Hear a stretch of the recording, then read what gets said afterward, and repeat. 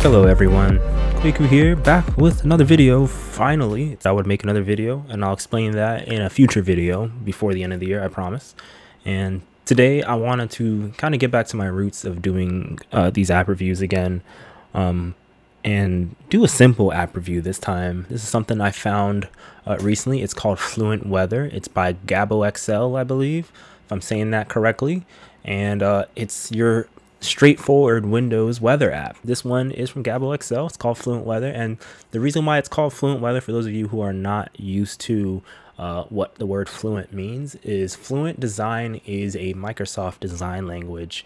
And basically, it follows the guidelines of something called WinUI. And again, I'll probably have to explain that what WinUI is again in a future video because it's definitely changed a lot since I've made the last video that I had on this channel. And so this is an app that kind of follows the elements and I'll explain those elements as I go through this application. So without further ado, this is it right here. So right here is the general application, general layout and things. And at first glance, honestly, doesn't look half bad. It looks, gives you all the information, information overload all at once. And it doesn't look bad at all. Um, just glancing at it just to see what things look different. Things look pretty good. And honestly, I would probably say if there's only one thing at first glance to update and or change, it would probably have to do with this area here, this area here, and this area here, and as you scroll down.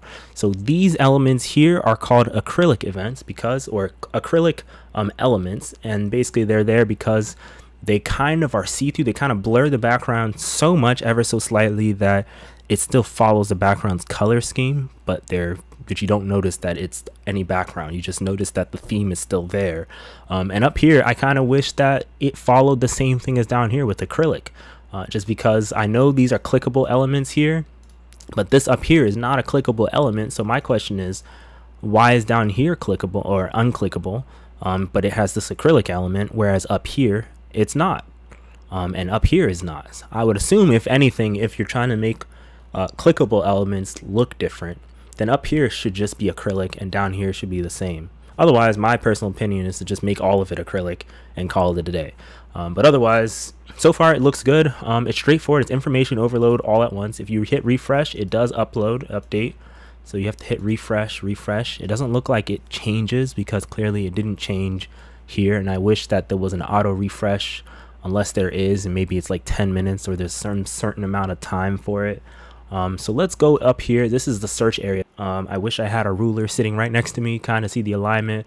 It just looks ever so slightly that this side here, where the edge of this location icon is not aligned with anything and it's kind of in its own zone. It could be aligned with daily forecast. It could just be that these elements here are not aligned and everything else is. I'm not sure, but definitely keep an eye out on the alignment section if you want to perfect the design of the application. Um, but otherwise, it looks good. I have some few things to say, but let's continue. So we have settings here, settings icon. So you can see the UI is design is inspired by the work of Ziad If you are familiar with this channel in the past, I did cover a lot of uh, concept videos and concept um, artwork and stuff from Ziad and Concept Central and a whole bunch of things. Um, and their work is amazing and this follows it. So right here in settings you got different elements. You got you, if you're in the us you know that we use imperial here. Um, they have hybrid which kind of changes like for example the atmospheric pressure. You can see if you look closely at it you can see the atmospheric pressure change just like that hg mb hpa and then you got the acrylic elements. And so if you're not familiar with what acrylic is, again, it's this area right here. You can see that it even shows the clouds kind of bleeding through and then the clouds are ever so slightly blurred background. If I uncheck it, it becomes, this element here becomes much brighter than these over here. And again, I don't know why this area, these bottom three areas are much brighter than these upper two. I, I don't know why. In fact, these upper three, I'm not even sure. Is this up here even darker than this. I, I'm not even sure. But you can see the difference. The acrylic effect only applies to the down below area, the hourly and the weather insights. And again, I wish that it just applied to everything. Just make all of it acrylic if you're going to choose acrylic.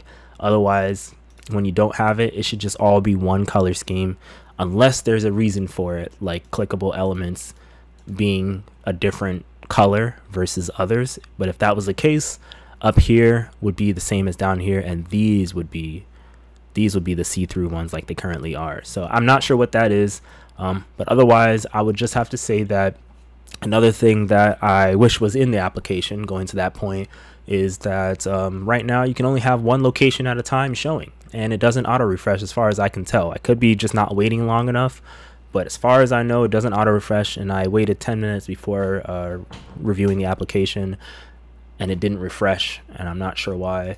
So going in, let's say we want to type in, let's say Woodbridge, Virginia.